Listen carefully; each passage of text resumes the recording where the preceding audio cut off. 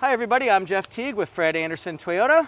Hi guys, I'm Adam here with Fred Anderson Toyota also, and we're going to talk about hybrid battery pack replacement, what to expect and what is involved. So first of all, we've got us a RAV4 hybrid here, RAV4 LE hybrid. This is a 2023.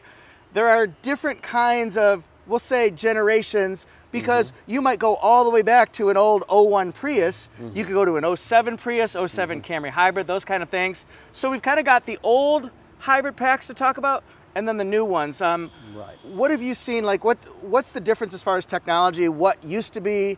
What's with the current vehicles? That kind of stuff. Right. Um, we see on these vehicles the older packs are staying more on the nickel metal hydride, hy, nickel metal hydride batteries. I know it's a tongue twister. Right, it is. and we're going more to the lithium ion battery packs for the newer stuff for the higher power delivery and the, the better punch that you get out of them.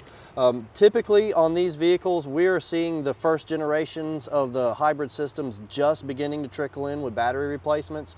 Uh, we see the first gen and the second gen, which would be up to about 2009 for most of the Camrys and Priuses.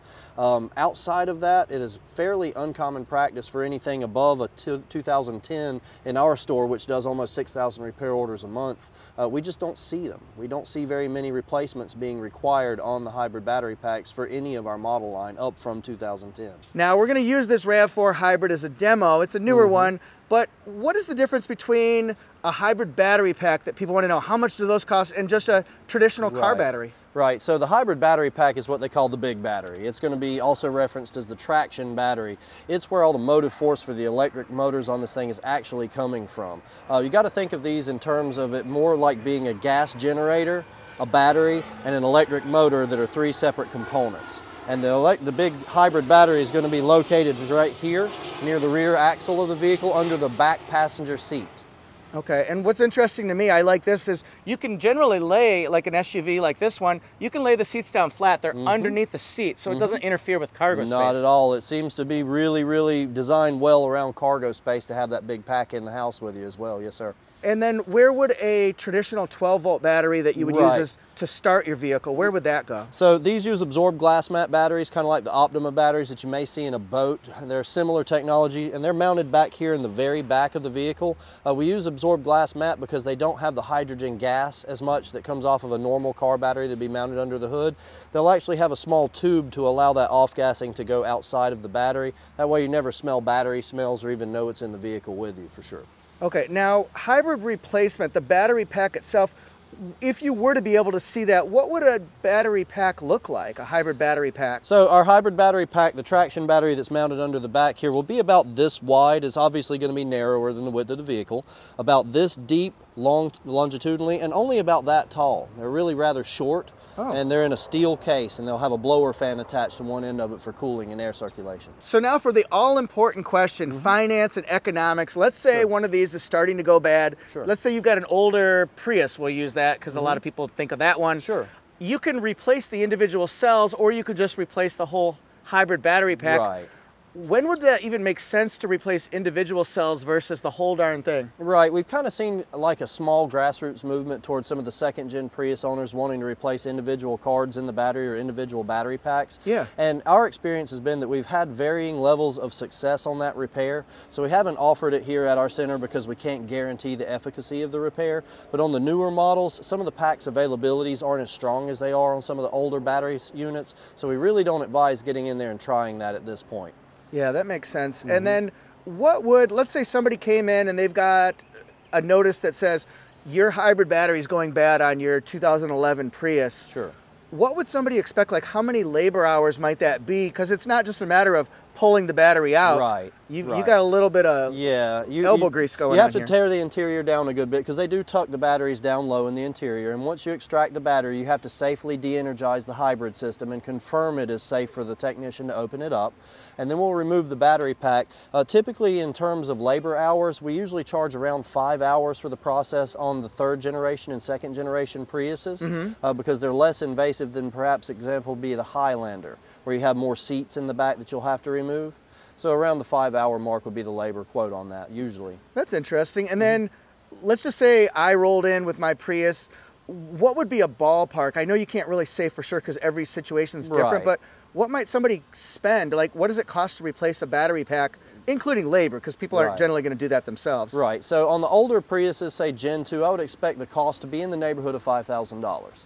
And that's for a full battery pack replacement. And again, you have to take the battery out and tear the battery down a good bit, not as far as replacing cells, but the bus bars have to be exchanged over and the HV control units and all that have to be modded over onto the new battery.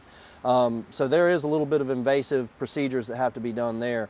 Um, an interesting thing though, once you get up to the newer models like the RAV and the Camry, they share Toyota's new Toyota next generation architecture. So you're going to see similarities in pricing on some of these units. For example, the RAV and the Camry are almost in lockstep in price on both the battery and the labor. Same with the Tundra, the hybrid, or the hybrid Tundra, the Highlander, and the new Sequoia. They're all on the same platform now, so they can offer the same pricing, and it's more congruent for our guests. That's interesting. And now we really don't need to worry about the prices of a 23 or a 24 right now because number one, Toyota has an incredible new hybrid Absolutely. warranty. I believe it's 10 years or 150,000 Yes, miles for that hybrid sir. battery pack. Yes, sir. So that's peace of mind there.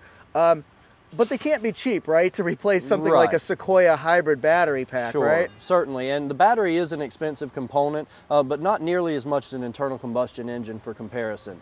And also, you know, having been in a volume center for eight years now, it's just not something we're seeing.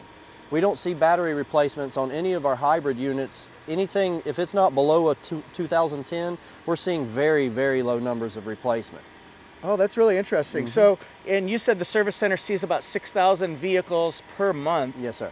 And how often might you replace a hybrid battery pack in a high volume center? We may see one a month, and that's usually a second gen Prius. It's getting to be a more rare occurrence. And again, anything 2010 and up, we're not seeing the batteries. Um, for example, this, this particular model line of RAV and the newer Camrys, we've not even seen them opened up yet except for maybe recall repairs or something warranty unrelated to the replacement. But again, we're not seeing battery packs come out of the new cars at all. Yeah, and then just a ballpark here, just to throw out a huge number. Uh, what do you think, like a Tundra hybrid battery pack, if somebody had to replace a 23, and of course it's going to be covered under Sure, warranty? sure. What could that cost, If, for labor? example, you were in an accident and your insurance company had to pay out of pocket because it's not a warrantable concern, uh, I would expect that cost to be in the neighborhood of $7,300 to $7,500, somewhere in that ballpark. Okay, gotcha. All right, Adam, thanks for giving us the nuts and bolts, so to speak, and uh, it's an electric presentation. I love it. Appreciate you being here. Any last words of wisdom? Yeah, I mean, I just want to touch base on the fact that the Toyota is one of the most reliable vehicles on the planet. The hybrid system has been an absolute workhorse for us. I wouldn't expect you to need to get in here and do a whole lot of tinkering around, but if you are the do-it-yourselfer type and you are the type of person that wants to work on your own vehicle, please be aware that you need to have specialized training to operate on the hybrid system because they are inherently dangerous and there is a risk of personal injury if we do get involved with that system in the wrong way. Okay, that's great words of wisdom there. And then the other thing is, we're going to leave it open to the viewers. If you guys have any questions about service, repair, you here to help? Absolutely, anytime. Okay, fantastic. So if you have an idea for, hey, how does this button work, this control, service, repair, anything like that, maintenance, regularly scheduled service visits, things like that, we'll answer them in future videos. We just want to be a resource to you. Thanks for watching. See you, Adam. Have a good one.